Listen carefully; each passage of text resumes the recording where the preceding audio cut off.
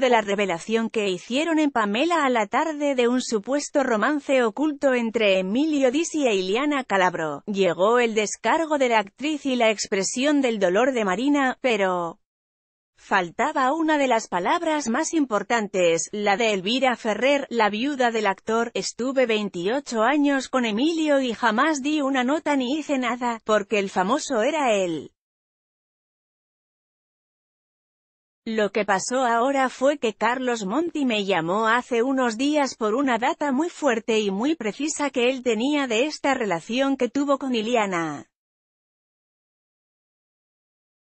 Y me preguntó si era verdad, y yo le dije que sí, porque es verdad, sentenció la mujer en el programa de América, es verdad, Emilio tuvo una relación con Iliana a su vez, en diálogo con Pamela David, agregó que, la infidelidad no destruyó mi pareja, mis hijos están al tanto de esto y no perdió oportunidad de contar una anécdota con Marina Calabro, de la época en la que Iliana descubrió la supuesta infidelidad de Fabián Rossi. Me la crucé a Marina y le dije, qué ridícula tu hermana, llorando y está saliendo con Emilio. Se quedó muda. Me parecía tan ridículo que saliera llorando porque le habían sido infiel consultada sobre si se sentaría a hablar con Iliana, Elvira fue tajante, no la llamaría. Ella hizo lo que tenía ganas de hacer.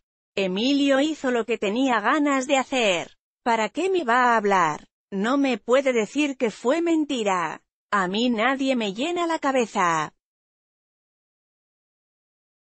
Nunca intentó hablar conmigo porque seguro tenía miedo, ya está ya lo superé y no me importa nada de ella.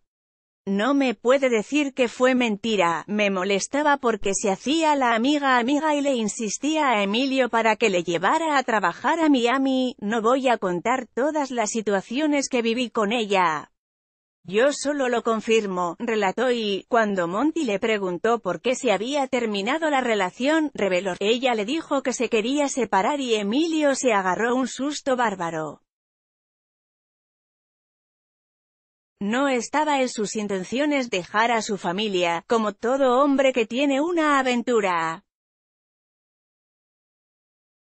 Desde el otro lado, Iliana aseguró que le hará juicio al programa de América, y que es mentira lo que sostiene Elvira, es todo falso, pero que se haga cargo ella, no voy a hablar y menos meter a mi padre, Dios lo tenga en la gloria Emilio, es de muy mal gusto hablar de alguien que no se puede defender, expresó en LAM. Hace años que trabajo en el espectáculo y creo que es el peor rumor que he escuchado. Es de una bajeza tremenda y encima involucran el nombre de mi papá. Están todos locos, expresó Marina Calabró, EC Galería de Imágenes.